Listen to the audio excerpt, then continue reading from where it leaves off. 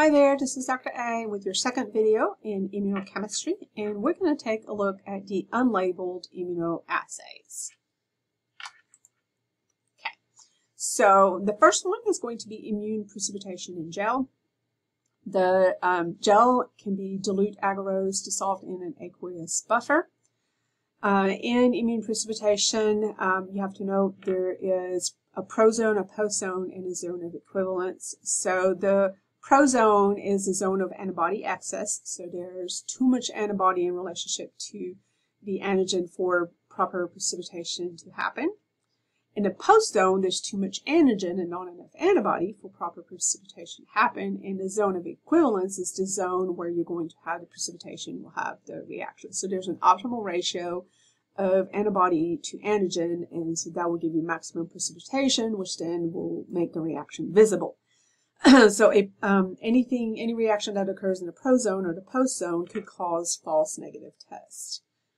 So the different methods for immune precipitation in gel, we have double diffusion. So that is the simplest and the least sensitive. It is a passive method. Um, you can use it to um, um, get the titer value of an antigen.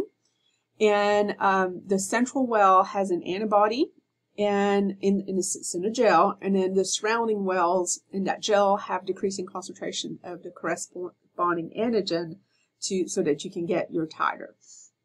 You also have the single diffusion, which is also known as radial immunodiffusion. It can quantitate proteins, so proteins the antigen. Uh, it is also a passive method, and basically the larger the diameter of precipitation, the more protein is present have a couple of illustrations here for you. So this would be the double diffusion. So you would put uh, the sample in here with antibody, and uh, you would have there the uh, you know different concentrations of uh, the antigen or you know whatever it is you're trying to detect with the titer. You find the titer. If you're trying to titer the, the antibody, you just put different concentrations of antigens, and then you can get the titer because you're going to have uh, you know, maximum precipitation in that zone and you will see a band forming there. All right, so the single diffusion is this one. So uh, you can see uh, different uh, bands here of precipitation, circles of precipitation. So uh, comparing all of them, this one would have the least concentration. This one would have the highest concentration because you have the highest zone of precipitation. The next one is counter immunoelectrophoresis. It uses an electrophile, so it's a type of electrophoresis.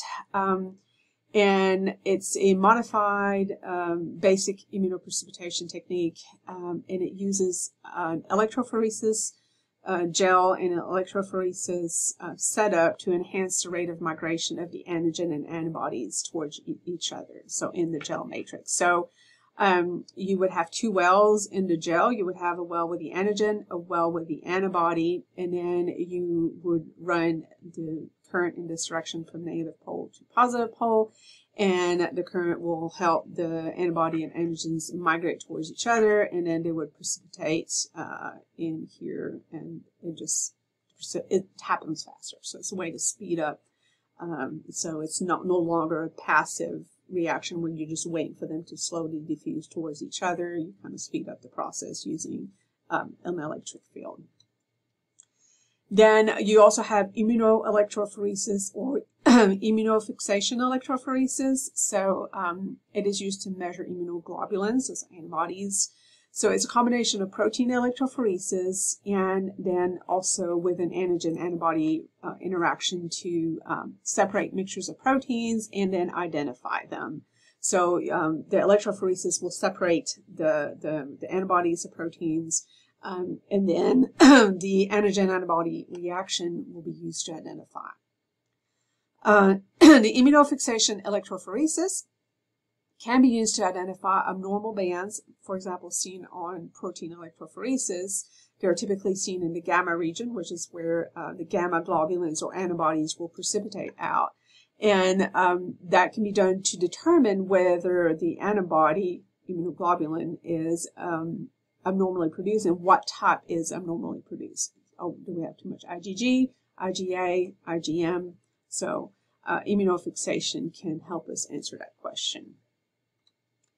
So, and uh, this one is immunoelectrophoresis. So, it's a typical electrophoresis. Your first band or spike is going to be albumin, and then you have the alpha 1 globulins, alpha 2 globulins, beta globulins, and then you have the gamma globulins are here, right here. So, these are all your antibodies. And in there, you have IgG, IgM, IgA, all of that's in your gamma globulins. So, uh, in this one, we, we're testing patients' urine versus normal serum. And so, um, you um, you know they've run the electrophoresis, and so the thicker the band, the more of it is present. So in in normal uh, serum, this really thick one here is going to be albumin, and we're going to have alpha one, alpha two, beta, and this last one's going to be gamma globulin, and then.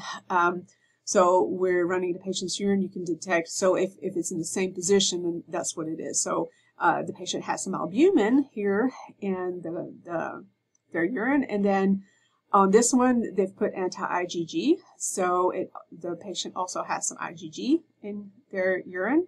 Uh, and this is a no normal serum to just kind of give you a control to see, okay, in normal serum, this is where IgG precipitates. There's some precipitin here, so the patient's got IgG. Uh, this one's IgA, uh, normal serum, so it precipitates here and you don't see it in the patient's urine, so there's no IgA in the patient's urine.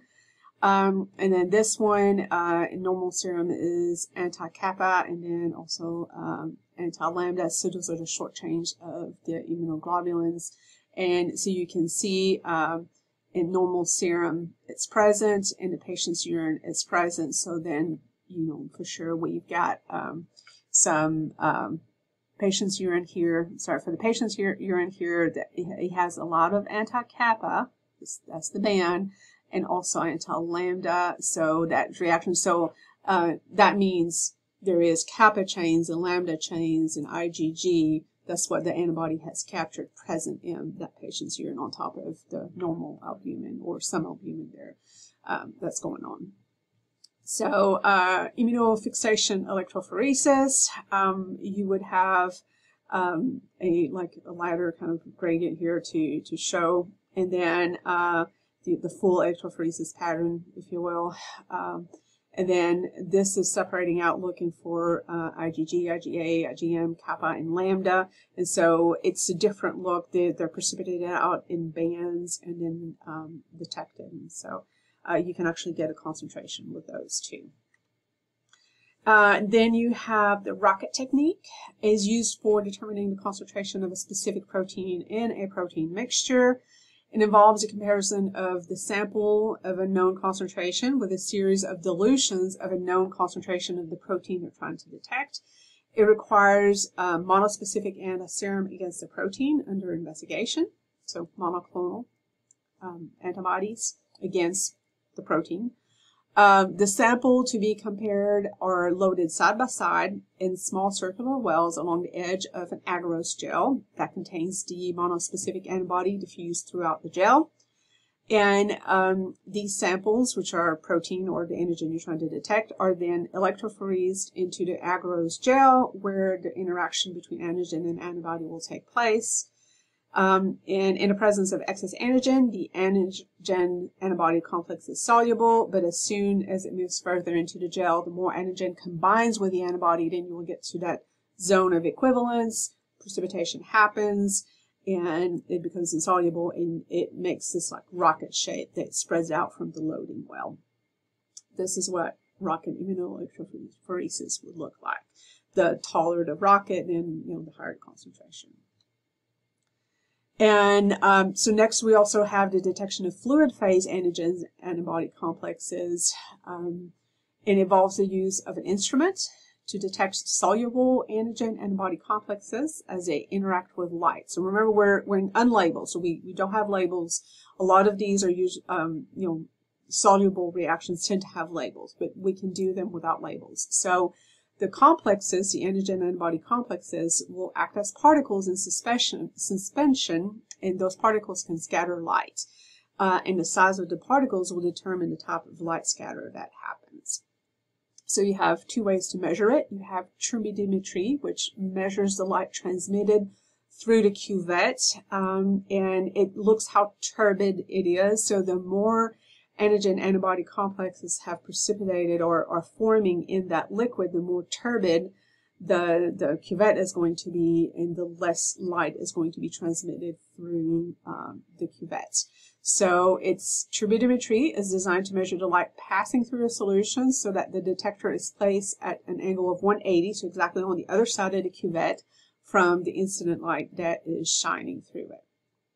In nephelometry, it measures light scattered.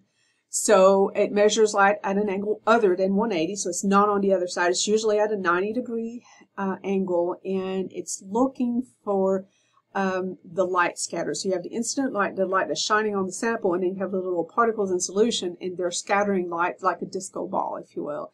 And so you have to capture it at an angle because you're not trying to capture the light that's being shone through the, the sample. And the more little particles are in there, uh, the more light will be scattered.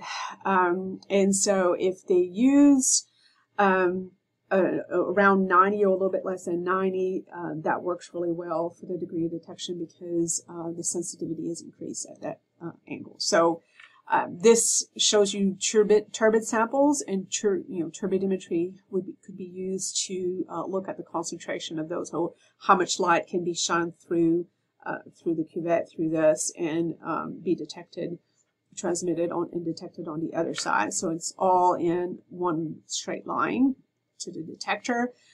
Um, whereas here, nephelometry, think, yeah, because I think disco ball, think uh, glitter, scattering light, right? So you shine the light on it and then light scatters and so we detect it here at an angle. So there we go. That wraps up all the unlabeled assays. Um, and then uh, we're going to do labeled assays and that's going to be a much longer video. It's going to be our last one though. So I'll see you there.